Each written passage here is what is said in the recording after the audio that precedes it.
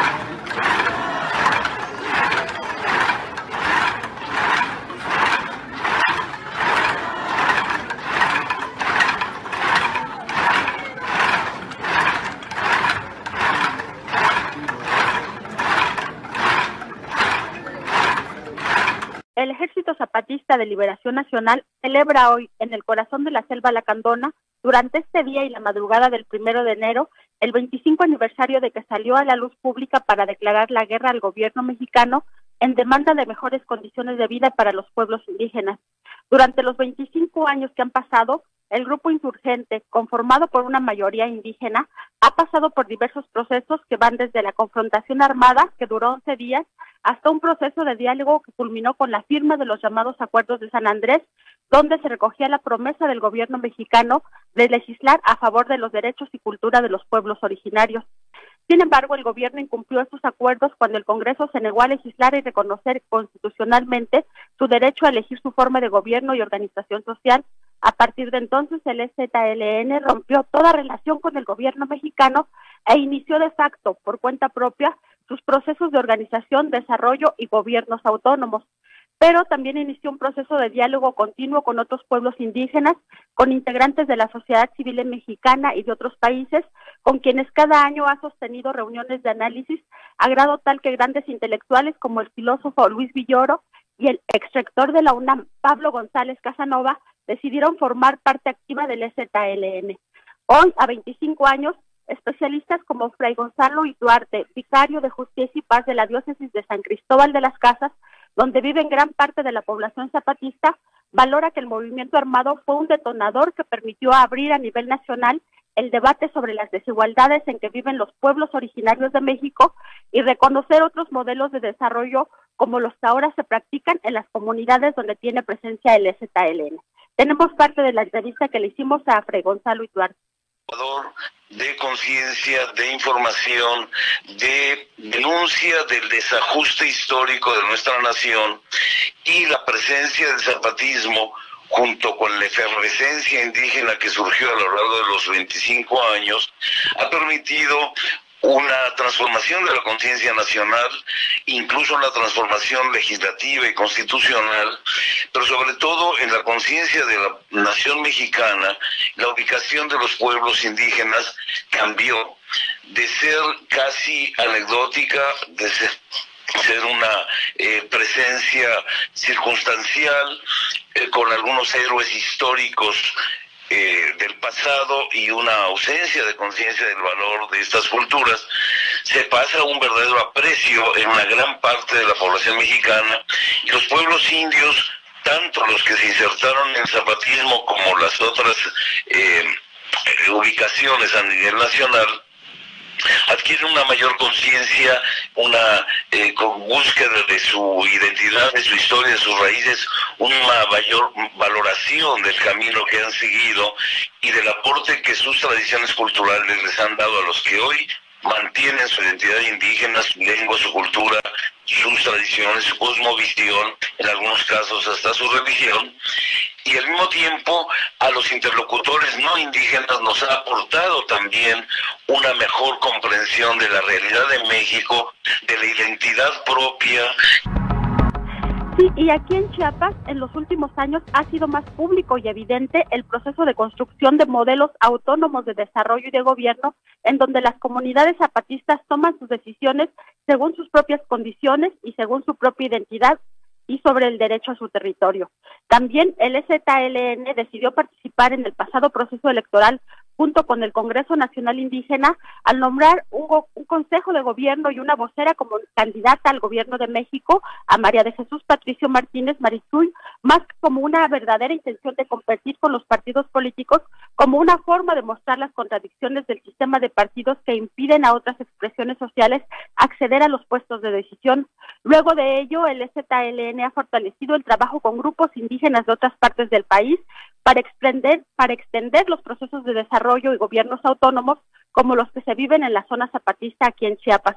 Esto lo ha hecho en medio de críticas al actual gobierno mexicano encabezado por Andrés Manuel López Obrador, de quien el EZLN es escéptico, sobre todo porque el modelo de desarrollo económico de este nuevo gobierno es el mismo que ha prevalecido en el país durante las últimas décadas.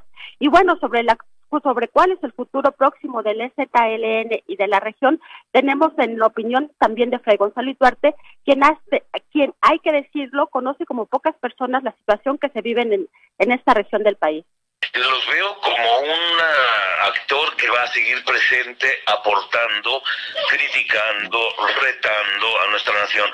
Eh, ni los zapatistas, ni el presidente con su movimiento Morena, ni los partidos eh, de oposición ahora, tan chiquititos que quedaron, ni el gran grupo capitalista que tenga el dominio de México, etcétera, ninguno de estos actores será único y determinante. No serán los zapatistas los que cambien a México, pero tampoco será los otros actores. Juntos, entre todos, tenemos que hacerlo. Sería una fantasía creer que uno de los actores va a ser el que cambie al país. o caminamos todos y hacemos un esfuerzo y nos escuchamos y aprendemos de los demás, o simplemente eh, seguiremos en alta tensión. Y bueno, aquí en Chiapas esperamos ver cómo se desarrolla este día la celebración de aniversario de los 25 años del lanzamiento zapatista y el posicionamiento político que hará el grupo armado. Reportó para Aristegui Noticias Ángeles Mariscal. Compañeros, compañeras, hermanas y hermanos de la Sexta Nacional Internacional, del Congreso Nacional Indígena, que por ahí supimos que algunos vinieron. Estábamos esperando a nuestro compañero Pablo Contreras, comandante de nuestra lucha, de nuestra organización. Le damos la bienvenida nuevamente y más lo que sigue, el trabajo, a este encuentro pues de las redes sean bienvenidos y bienvenidas.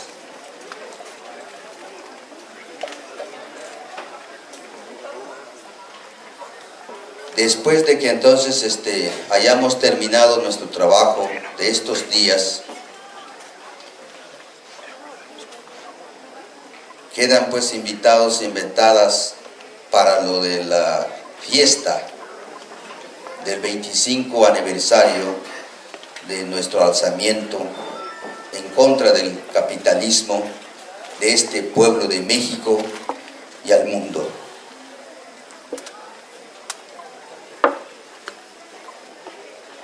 Siendo las 10 de la mañana con 32 minutos, 27 de diciembre de 2018, vamos a empezar nuestro trabajo. Entonces, este, les proponemos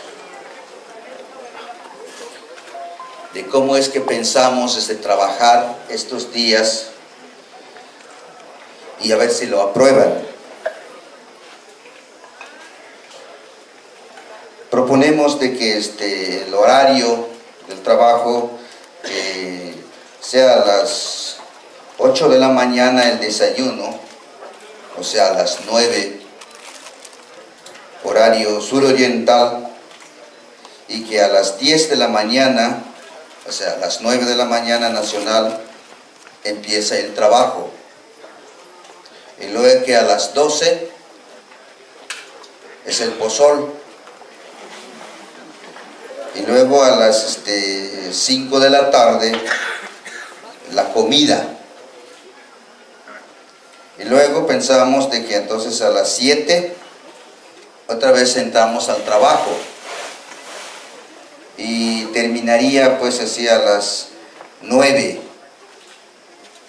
Y después de las nueve ahí ya está libre para los que quieren ir a, cenar. Ahí mismo más o menos en esa hora a las nueve empieza la película. Pero ya están libres ya y eso pues el desayuno, tanto como la comida, es regalado, gratis, como se dice. Eh, la cena, ahí sí, tienen que sacar ya su paguita.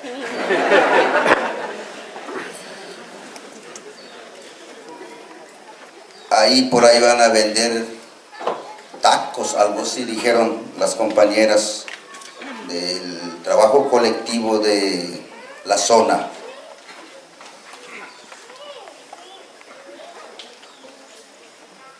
Proponemos también que este, el trabajo de estos días eh, sea el mismo método como se hizo en, en Morelia el 2 de agosto.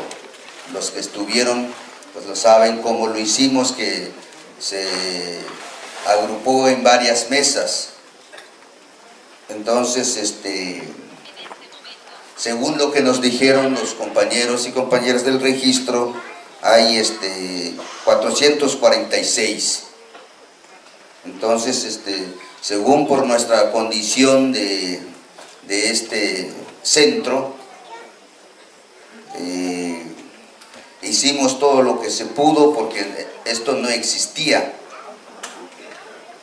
Apenas pues este, logramos pues construir eh, lo, que es, lo que están viendo. Eh, vemos de que hay este, cinco lugares para mesas. Entonces, este, sería de que entonces se van agrupando en cinco mesas, tomando en cuenta que según la lista somos 446. Si les parece pues así eso, o vamos a hacer menos mesas o más mesas. Proponemos que sea cinco mesas por la condición de donde vamos a trabajar. Pues.